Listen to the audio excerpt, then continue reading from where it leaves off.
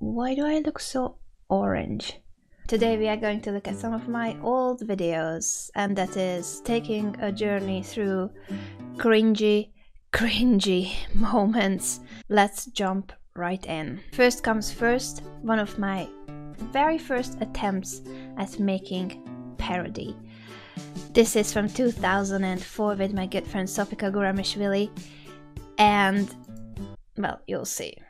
Warning, the audio is terrible and that's why it was not uploaded to the official Chess24 channel, but LDV's David Martinez has it on his personal channel.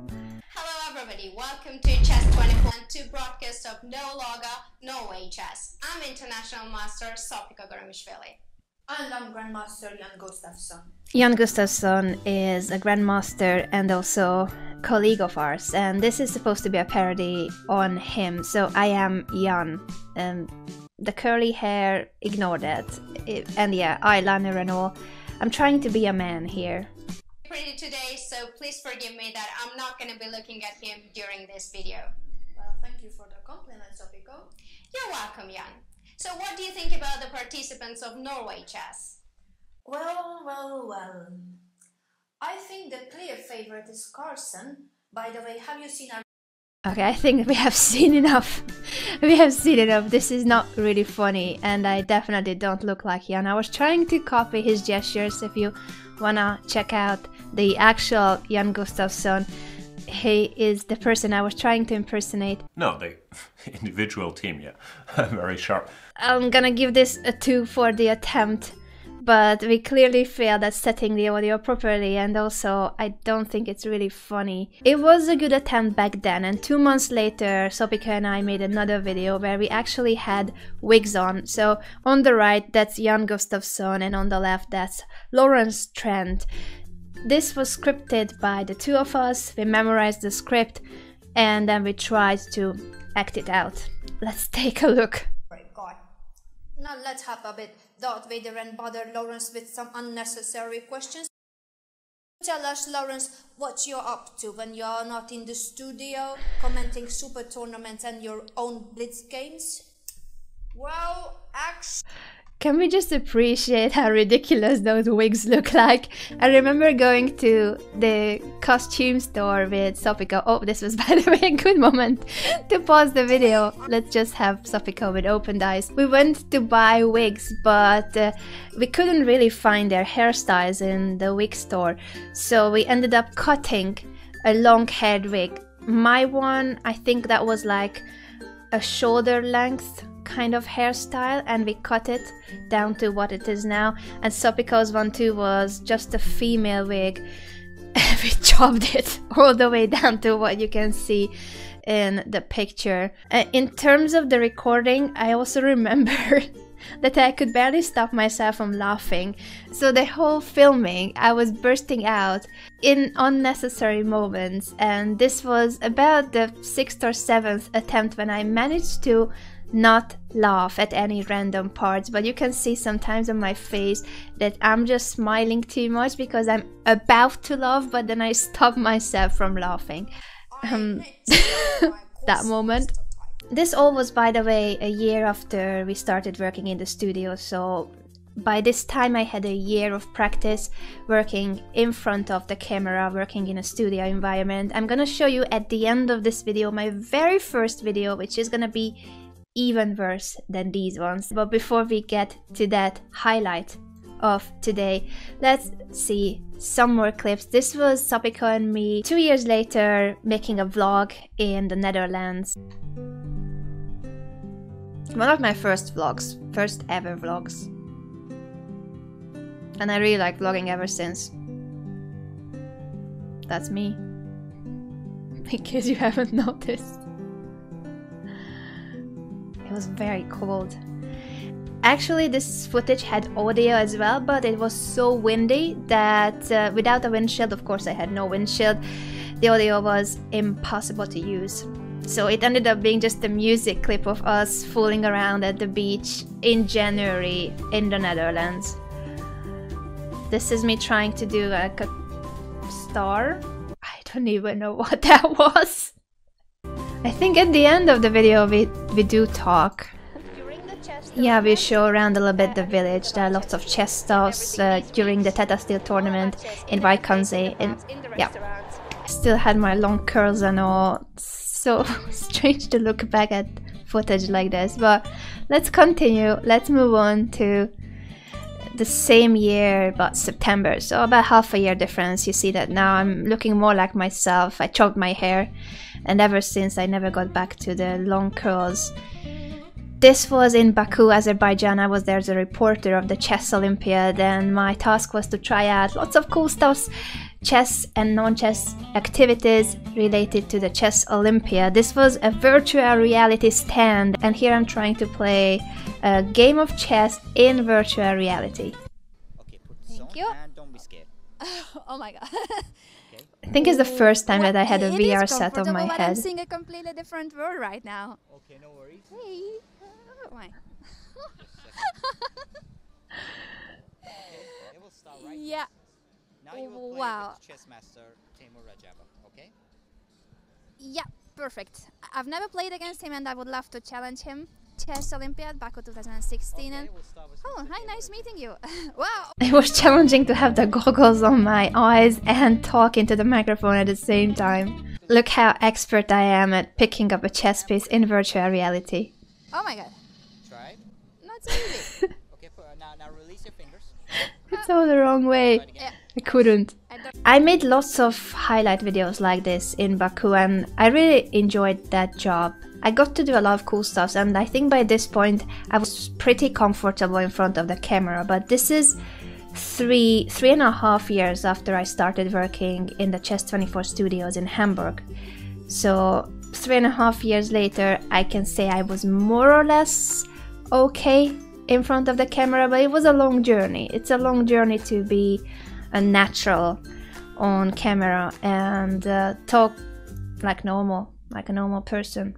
Let's switch to the next clip. This was when I played a chess match against the world and I wanted to make an announcement video about it. I filmed it at home in Spain all by myself and then I edited it all by myself.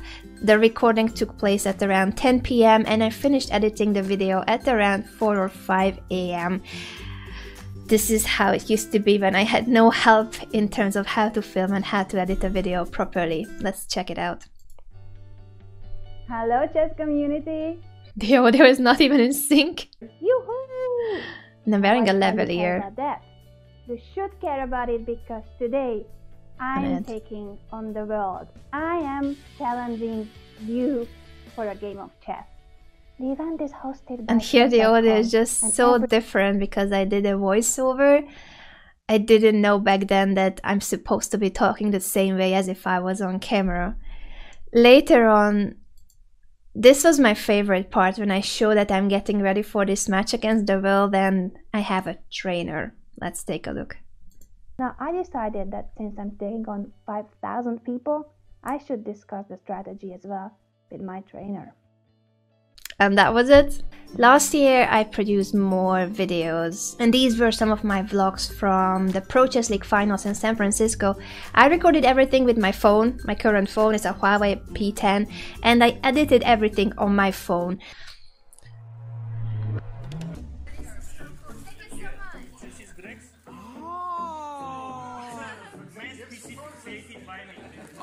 That's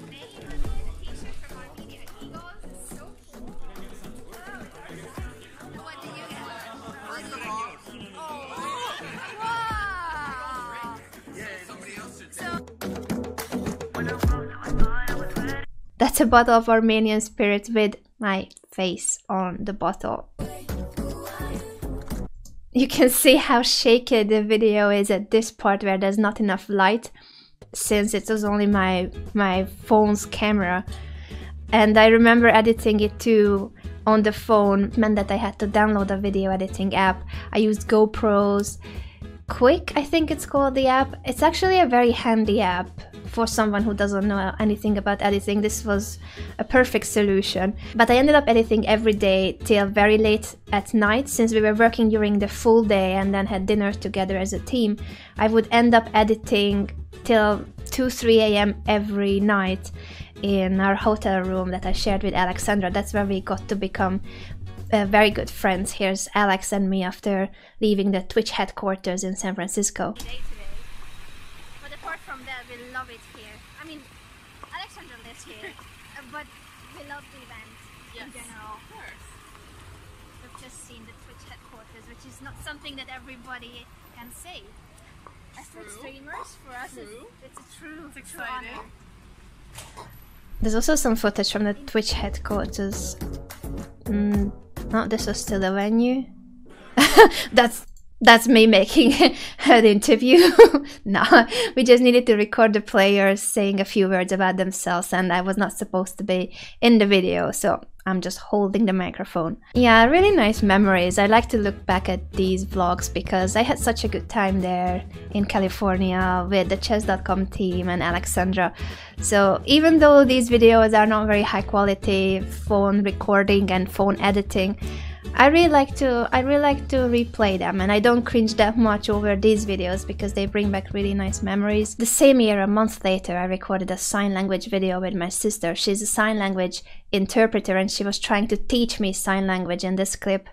Now I'm a little bit over exaggerating my expressions, but I really was very bad at trying to copy her gestures and signs. So the video is about me trying and failing and failing again. But overall, I think it's a fun clip, and I never made any similar style videos, so it was also something new to create. This one, I upgraded my editing skills at this point. I edited it on an iPad with Apple's editing app, which is. What is it called? iTunes? iTunes? No, iMovies! that was all I could do back then somehow transfer the files to my iPad and edit them with iMovies. But this is also a really nice memory when my sister was visiting me in Spain, so I, I do like this clip. I do like it. Next up, same year but in the autumn, this was an event in Denmark where Fiona and I went to in Copenhagen, a nightclub chess event. We are about to attend the weirdest, coolest chess event of the year, or maybe epic, the century. Shall we call it the most epic of the century?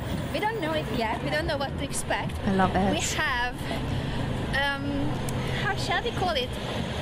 Totally normal chess outfits. maybe Totally normal. And this was also the first time I had my hair cut with a, a fringe. That was a big change for me that I never really had a fringe since I was like 12. Maybe that was the last time in my life when my hairstyle was like that. And I decided that I needed a change in my life, and I went to my hairdresser, and this is what happened to my hair. And it kind of stayed like that ever since. So on uh, for the female team in the Battle of the Sexes, we have the always vlogging Anna Rudolf. Just imagine holding a camera while there are a couple of people, well, actually quite a crowd, looking at you as you are being presented at this event. There was quite some space downstairs, but also upstairs. I think it will be seen in the video. It, I felt like it was a gladiator fight because the whole surrounding was so interesting with that balcony view. I'm gonna show it now. Well, just believe me, it felt like being a gladiator. In terms of the vlog, I think it's a fun clip because it brings back the atmosphere of this very unique event and I can relive those moments. So I do like to look back at these videos and the previous vlogs I showed you as if it was my diary. It's kind of like a journey through my memories and they are all on my YouTube channel, these recent vlogs, so you can relive my memories through these clips. Now, before I get, as usual, too emotional, let's see a few more clips. There's one more that I prepared actually. Another vlog. This was the time Alexandra and I went on holidays in Barcelona, September 2018 and we just had an amazing time. It was only a few day holiday, but we both needed a break. We are streaming and recording constantly, which means that we kind of need to be all the time this public figure.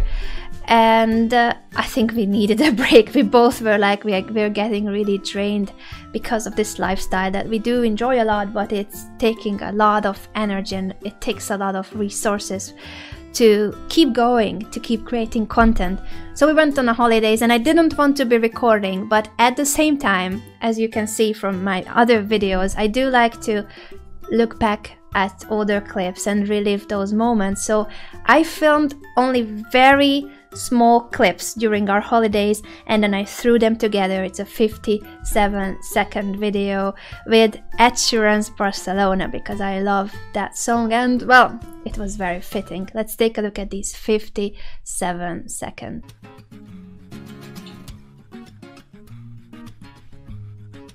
Get up up on the dance floor tonight. I got two left feet and a bottle of red wine, making me feel like the beat in the are in my blood. Okay, I need to stop this here. I need to stop it because I'm this happy because I managed to blow up three of the balloons. I had to throw darts. I had three of them and I needed three out of three. I needed to score three out of three in order to win a prize. And I'm a very clumsy person, you know how clumsy I am, but somehow I focused so much that I managed to achieve it. It wasn't easy. Not many people were getting prizes from this stall, but somehow I succeeded. And it was a highlight for me too that I can accomplish something that I thought was impossible.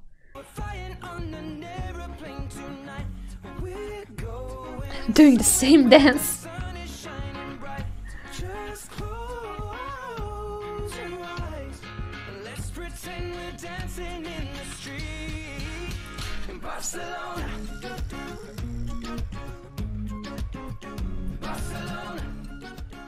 I really like that clip, not because I made it, but because of the memories. I, I don't think any of these videos that we have seen are particularly well produced, nicely filmed, or have any deeper meaning than what they are. Most of these were vlogs, and they just are a fun way for me to keep track of what has been happening to me and uh, sort of like an open diary. I feel like. But yes, these have been the past few years, and I promised that I was going to show you the very first video I recorded, so if you are ready, let's do this. We are back in 2013, around May, the time I started working for Chess24. That was my first on camera job.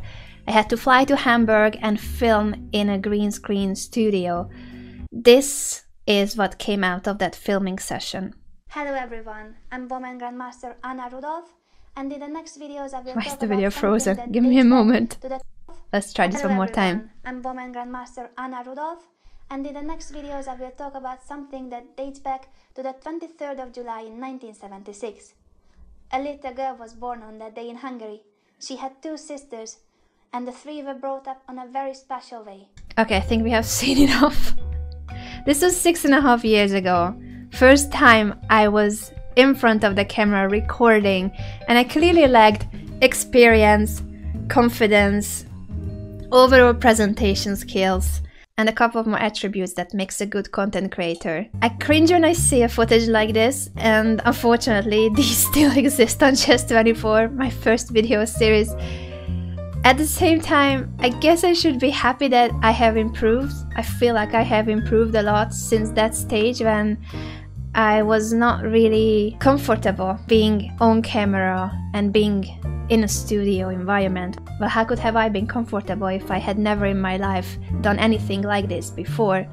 But it's been a long learning process and I think I can still improve a lot. So if you see this footage, I think it clearly proves that anyone can learn any skills because that girl six and a half years ago was not good was definitely not good at making videos. I hope that you enjoyed this video looking at my old clips.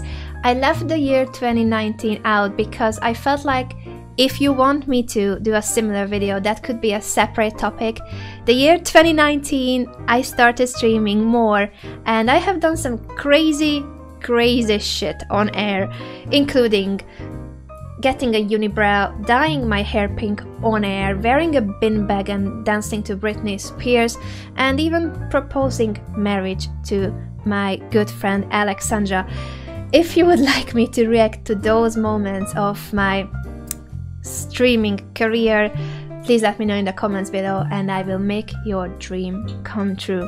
But until then, I hope that you are having a wonderful day and I shall see you in the next video. Bye for now. Oh my.